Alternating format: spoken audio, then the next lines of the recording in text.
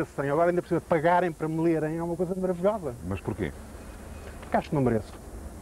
Então, eh, a escrita, eh, o ato da escrita é para quê? É para exorcizar os, os sentimentos internos, os, as emoções, as...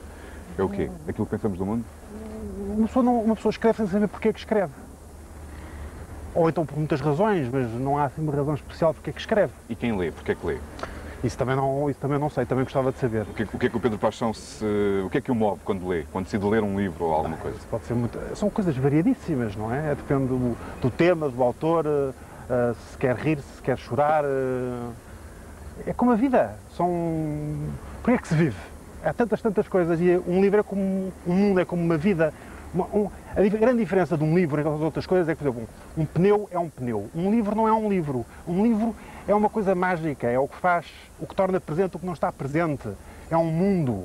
E, portanto, assim como há. Todas as vidas são diferentes, os livros todos são diferentes, as razões para os ler também são diferentes e as razões para os escrever também são diferentes. Não há nenhuma teoria possível sobre o assunto. Uh, Pedro, é a minha teoria sobre o assunto. estes 10 mil exemplares uh, sensivelmente vendidos... 10 mil deste- exemplares já havia uma coisa que enche quase isto, isto cheio de pessoas, é uma coisa brutal. É, é- é algo de, de- de surpreendente para o mercado português ou não? É muito bom para uma pessoa que nunca tinha escrito nenhum livro, sim, que não é conhecido, que sou relativamente jovem, se ainda posso dizer assim. Acho que sim. É, aliás, apontado como um dos, eh, dos escritores eh, eh, de nova geração Sim, são as mais línguas, sim. mais, mais conceituados. Como nós temos visto neste jornal, através da sondagem que, que efetuamos, os portugueses leem pouco, que é uma coisa que já se sabia, retêm pouco daquilo que leem, que leem também, eh, e não conseguem identificar os escritores que, que era suposto conhecerem, Nem sequer Camões, nem sequer Camões. nem sequer Camões. Eh, aquilo que eu perguntava, Pedro, é. Não se pode dizer que os portugueses leiam menos hoje do que liam há 50 anos, por exemplo. Será que eles leem. eh, o que é que eles leem então? O que não devem? Eu acho que o que há é cada vez menos tempo para ler. Deve, haver, deve ser uma questão de tempo, de alocação do tempo. Apenas isso? Deve ser, não sei, não, não estudei o assunto, deve haver, não- nunca li nada sobre o assunto, mas deve ser uma alocação do tempo. Há muito pouco tempo para ler, há muito pouco tempo para viver. O que há é tempo para morrer. Tempo para morrer há de sobra, agora tempo para viver há pouco. Mas também deve haver pouco tempo para ler. E como também temos pouco tempo para eh, en- encerrar este Jornal da Noite, Pedro, eu tenho mais uma dúvida para colocar, imediatamente a seguir à reportagem que tenho para apresentar já de seguida. Pedro Paixão, conforme se eh, já disse, escreveu o primeiro livro em 1992 e esse passo é seguramente o mais difícil para muitos candidatos a escritores. A publicação da primeira obra é quase um trabalho de Hércules. Uh, Dom Quixote, por exemplo, diz que publica em média três novos escritores por ano, mas reconhece que todos os dias decide não publicar pelo menos dois livros, normalmente por falta de qualidade dos originais de autores desconhecidos que chegam à editora. Um cenário que se repete noutras editoras.